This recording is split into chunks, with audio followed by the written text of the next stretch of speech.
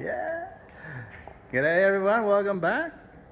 Just wanted to uh, catch up with you guys. Been a little while, haven't been doing much. My arm's still a bit stuffed, so uh, I've been painting things. Painted the PPF race. I've been test fitting um, manifolds that don't fit. Um, painted my subframe. It's been pottering around the garage doing stuff and uh, a little bit of light stuff, but not too much. Um, so cut the guards. So, I was supposed to film that, but I got a bit carried away and just did it. So here's one I haven't done. So you just mark it out. I measure from the floor to the top of the wheel arch underneath. The tape measure, and it's like 70 mil above to the surface up there and the top. So you just mark that height here and then just freehand a line around to the sides, back to nothing. All around. And then you cut the top line first and then you cut, you basically cut around the very edge the whole way around and then remove that sliver, that moon piece. So, on this side, you can see. So, I actually did two cuts because it wasn't high enough the first time. That's why there's a small piece. First piece, do the first cut first, around the top, and then you do the bottom cut around this edge here, the whole ways. Then take that piece out, and from there you can pretty much see what you got to do. Obviously, you got to, if you, if you take a bit of this uh, where it rolls away quite sharply here, remove a bit of that from there, and then you'll be able to hammer that up and get that close to here, and then just weld it together. It's not really rocket science. It's a bit brutal, but uh, we had to do it for the wide body and the clearance. Otherwise, our, our big tires will hit there when we get the big boy tires.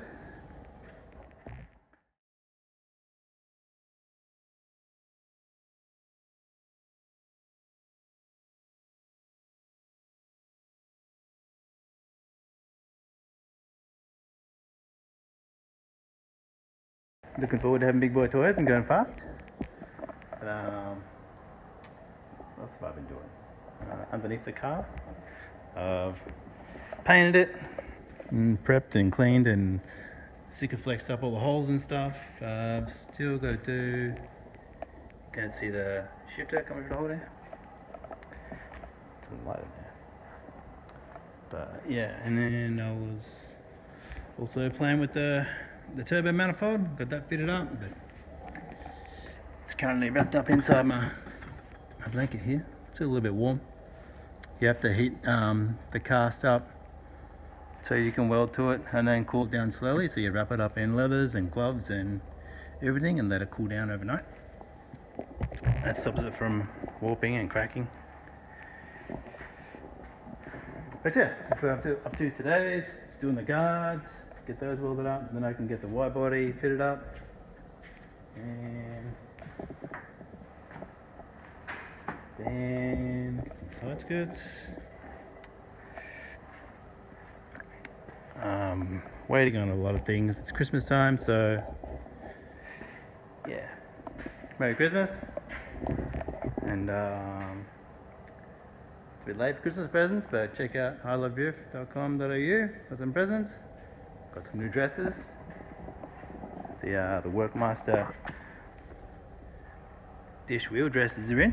Ooh, all the girls love them. I'm pushing Kat to bring back the I Love Two Ways t-shirt. Sick. Right, there's an old school one. But yeah, so that's what we're up to. Uh, like, comment, subscribe, stay tuned. There'll be more videos. I have got some other footage I haven't uploaded yet and I've been a bit slack, but I'm trying to let my arm heal. So, see you soon. Bye.